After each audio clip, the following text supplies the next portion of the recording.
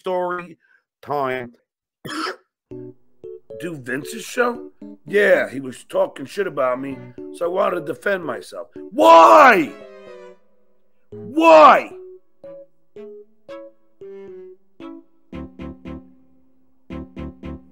Since even when you were 10 years old, oh come on, you're not gonna you're not gonna do that.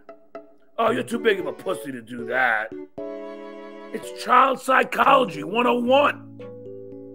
But Dave fell for it. Oh, you're too big of a pussy to come on. Oh, no, I'm not. Where have I heard that before? Sounds familiar. John blocks me, says he's not going to do the show. And I start sending out links to people because I'm going to do a show where we talk about how John is a pussy and bailed because I don't know what else to do. I've been promoting this. And uh, so I text John and I say, John, you're being a pussy. Oh, no, I'm not. John texts me back and goes, okay, I'll be there. And so John goes, yeah, you're right. And he started driving to the pub. I had to text John that he's a pussy in order to get him to come on my show. Oh, you're too big of a pussy to do that. But that's child psychology 101.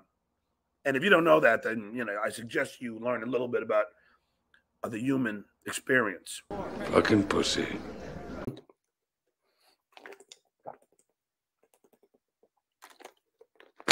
Um, please, people, subscribe to my buddy. I just learned about the manga. You got outsmarted. What is a manga?